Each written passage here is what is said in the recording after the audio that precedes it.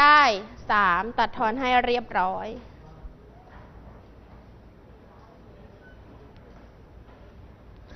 ทองสุดคูณได้เป็นนกแก้วนกขุนทองแต่ใช้เป็นไหม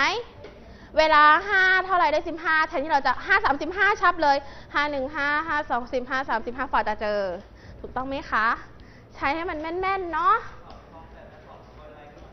เหมือนกันเวลาแม่สอง สองเก้าเท่าไหร่สองหนึ่งสองสองสองสี่ฝ่าจะถึงเก้าโอ้โห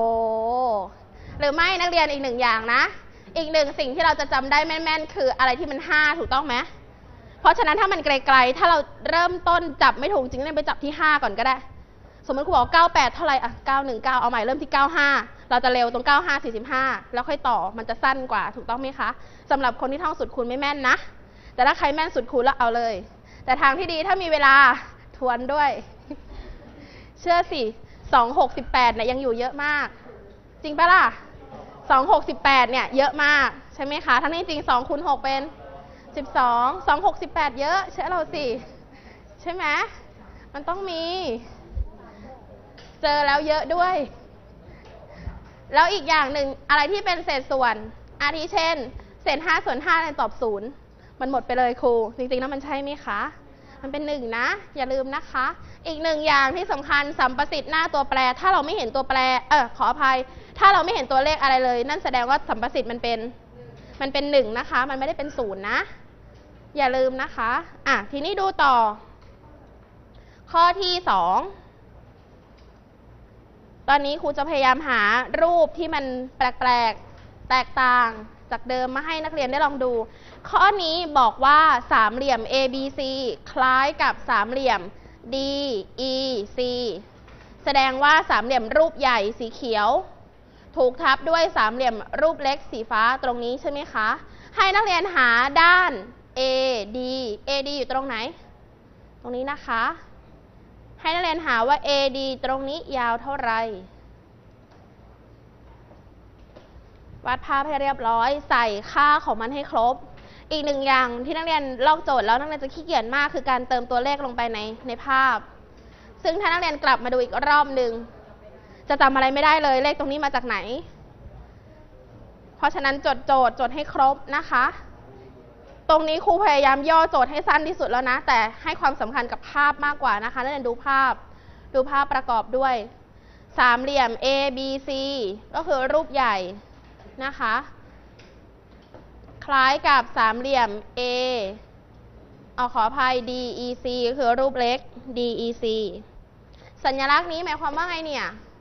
ด้าน AB กับด้าน DE มันทำไมกันคะ มันเท่าเหรอ มันขนานกันถูกต้องนะคะ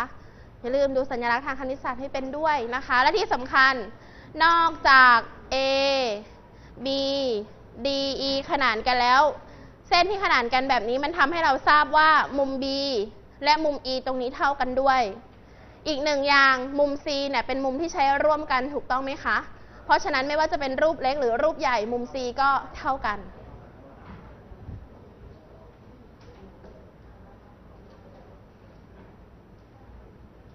คณิตศาสตร์เป็นเรื่องของเหตุผลนะ เวลาเราทำข้อสอบเวลาเขาถามว่าเพราะอะไร เหตุใดมายังไงนักเรียนต้องไประลึกใช้คำว่าระลึกนะ ไประลึกไปทบทวนความจำไม่ว่าจะเป็นบทนิยามความหมายอะไรก็แล้วแต่มุมภายในมุมภายนอก มุมแย้ง อะไรพวกเนี้ยมันจะเกี่ยวข้องกันหมดเลยนะคะ เพราะฉะนั้นอะไรที่พอจำได้ไปจำอะไรที่ยังจำไม่ได้ลองไปทบทวน ทบทวนเยอะๆ อยู่ม .3 แล้ว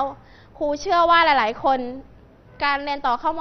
.4 เป็นเรื่องสำคัญ บางคนอาจจะเบนสายไปเลยก็ได้ นักเรียนอาจจะไปเรียนต่อสายอื่นที่ไม่ใช่สายสามัญหรือสายอาชีพ บางคนอาจจะอยากเป็นทหารหรือตำรวจใช่ไหมคะ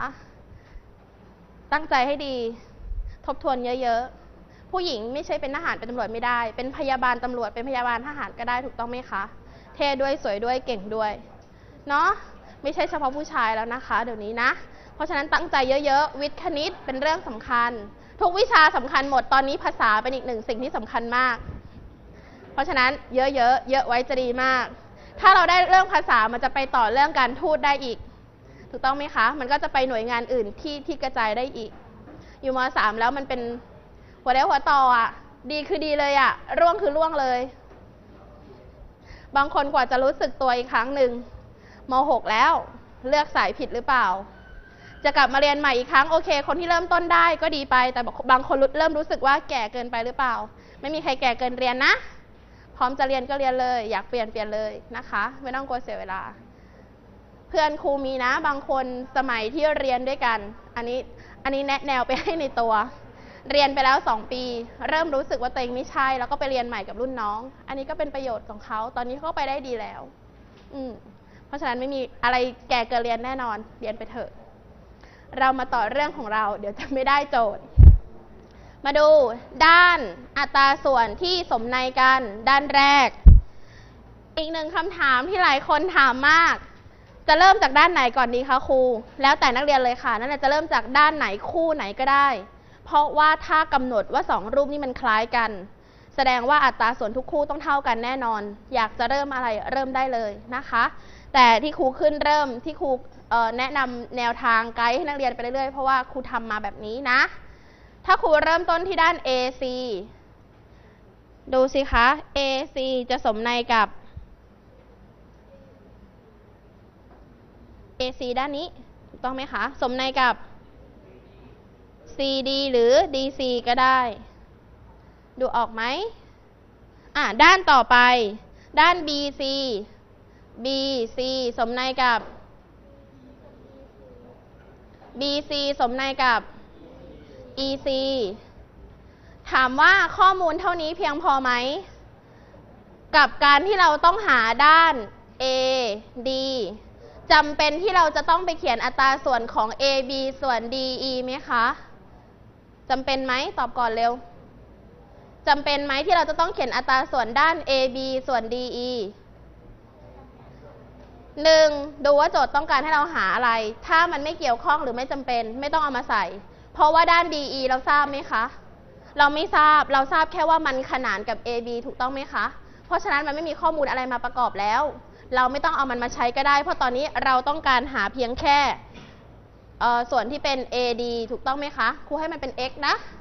กำหนดตรงนี้ให้เป็น x แล้วกันนะคะ เพราะโจทย์ต้องการให้เราหาความยาวด้าน AD อะทีนี้เรามาใส่ค่าให้มัน AC ส่วน DC AC ยาวเท่าไหร่คะ AC ยาว x บวก 7 หรือ 7 บวก x ก็ได้ นักเรียนต้องดูนะว่า AC เดี๋ยวมันยาวช่วงนี้ช่วง x ถูกต้องไหมคะ แล้วก็ยาวลงมากินช่วงล่างอีกใช่ไหมคะ เพราะฉะนั้นก็ต้องเอาตลอดทั้งแถวเลยมาบวกกัน เป็น x บวก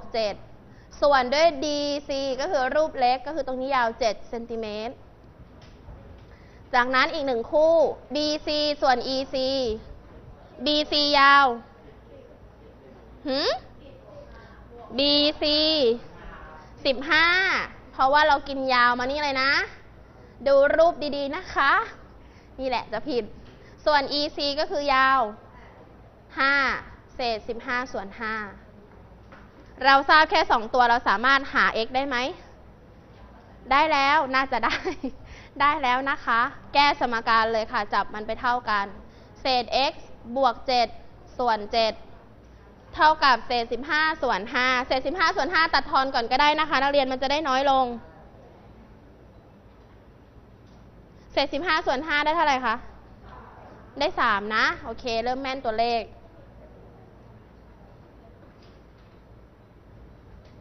แก้สมการเลยค่ะ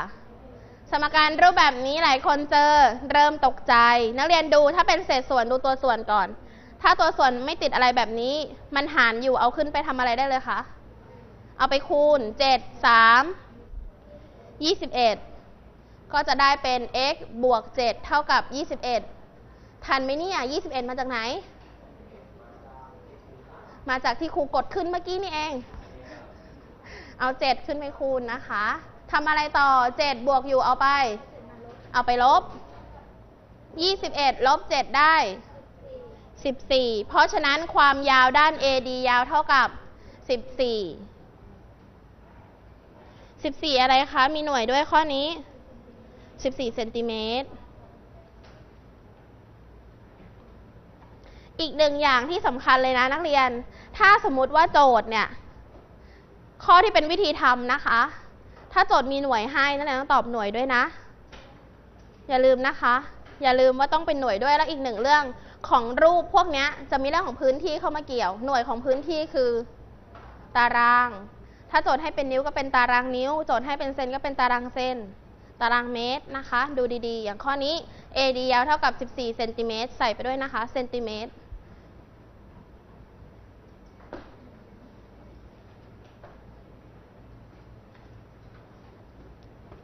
บทนี้ง่ายไหม ง่ายง่ายเนาะ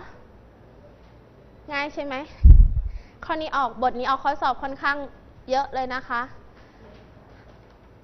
มากกว่า 50%เลยนะ เพราะว่าวิธีทำก็คือออกบทนี้ด้วยนะคะ ห้องปลายทางรับทราบด้วยนะ วิธีทำออกบทนี้ด้วยนะคะ ให้รูปมา เสร็จแล้วหาอัตราส่วนด้านที่สมในเขียนให้เรียบร้อย แก้สมการหาด้านที่ครูต้องการมาให้ได้ หรือครูอาจจะไม่ได้ต้องการด้าน ครูอาจจะต้องการหาพื้นที่ของตรงนั้น ที่ครูกำหนด ต้องจำให้ได้นะ รูปพื้นที่ตรงนั้นเป็นสี่เหลี่ยมอะไร สี่เหลี่ยมที่ครูให้หาจะเป็นสี่เหลี่ยมคางหมู ซึ่งเราจำสูตรไม่เคยได้เลย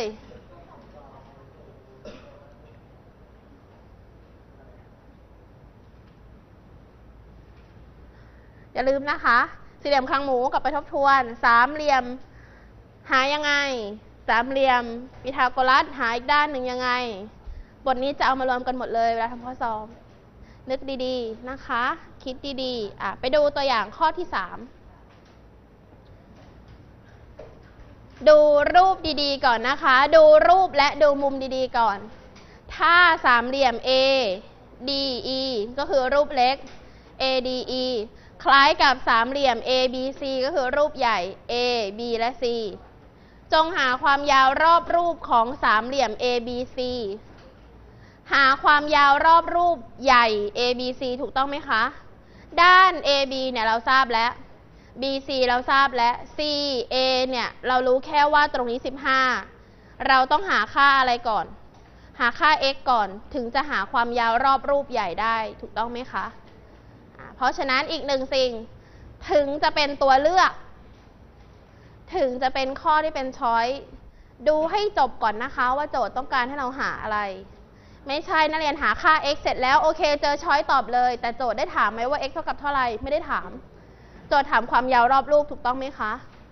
เพราะฉะนั้นดูโจทย์ดีๆ ก่อนทำก่อนคิดนะคะ แล้วทบทวนอีกครั้งหนึ่งถ้ามีเวลา